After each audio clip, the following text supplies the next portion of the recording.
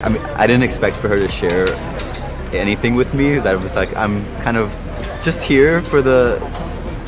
I wouldn't. I don't want to say a prop, but I kind of just a model. But she went into detail as to what I was, what my role was um, in the video. So I'm really just happy to be a part of it. She was just so warm and down to earth, just a regular person like everybody else.